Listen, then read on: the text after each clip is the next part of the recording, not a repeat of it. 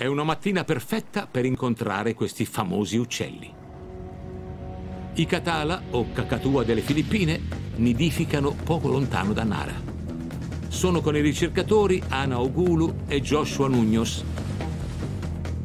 Ci stiamo dirigendo a un chilometro e mezzo di distanza all'isola di Rasa. Orlata dalle mangrovie, Rasa è una piattaforma di corallo. È diventata una riserva nel 2006. Scendiamo qui.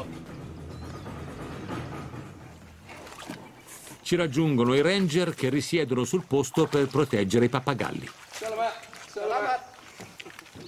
La maggior parte proviene dall'etnia Tagbanwa. Salve, sono Nigel, piacere. Salve, ciao.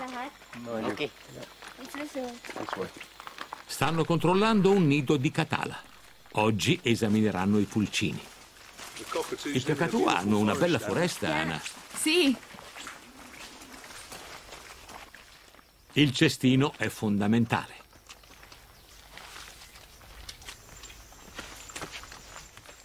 questo è l'albero del nido. È imponente. E i ranger si arrampicano fin lassù? Il nido dei catala è a 30 metri da terra. Noi noi sale così in fretta. È quasi arrivato. È vicino alla cavità del nido. I genitori protestano.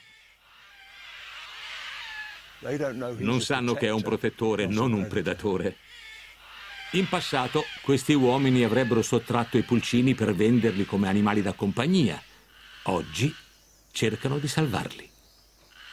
Ah, il primo pulcino. Mi sa che ne prende un altro. Eh sì.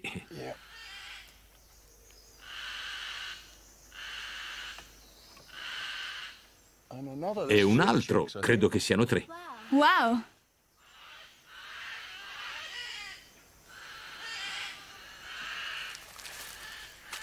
I Catala sono noti anche come cacatua delle Filippine.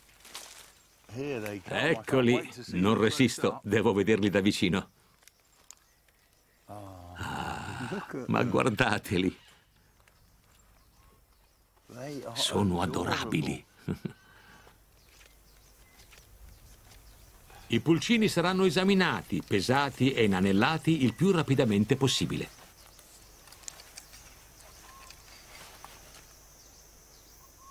345 grammi. È un buon peso? Sì, Questi pulcini sono davvero sani? sì.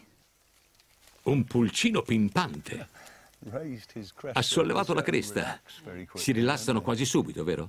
Effettuate le misurazioni su tutti i pulcini nati qui? Sì.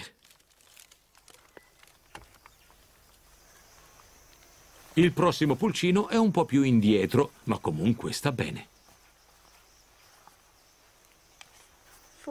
40, eh, 41. Ana, qual è l'età dei pulcini? Questo ha un mese. I genitori nutrono i nidiacei rigurgitando una poltiglia di semi e frutti. Il pulcino numero 3 si calma subito appena Ana lo prende in braccio.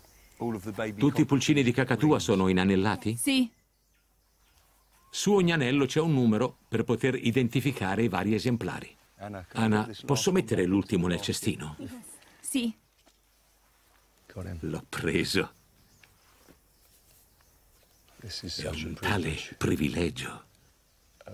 Sei un pappagallo molto carino. Dentro.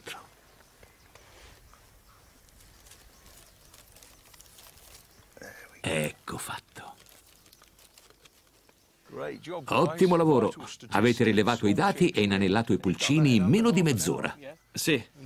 Tra poco torneranno nel nido. Bravi. È stato bello vedervi al lavoro. Grazie infinite. Grazie. Grazie tante. L'isola di Rasa è perfetta per nidificare, ma c'è poco cibo. Perciò i cacatua devono volare fino alla terraferma per procurarselo.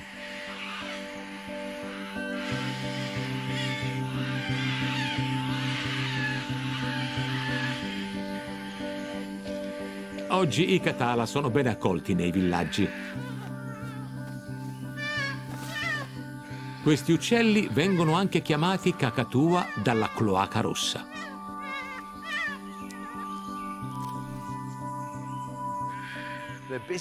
Sono impegnati a nutrirsi su un albero di moringa dai lunghi baccelli che i cacatua amano aprire con il becco e le zampe. Dopo aver aperto i baccelli, mangiano i semi neri contenuti all'interno.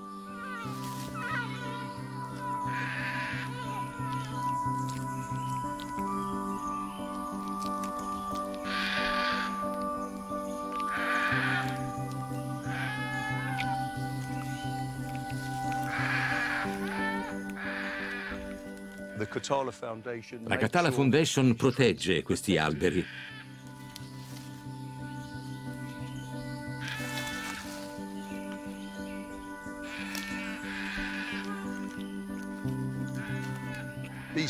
In passato i Catala si trovavano in molte isole dell'arcipelago filippino, poi sono diventati sempre più rari.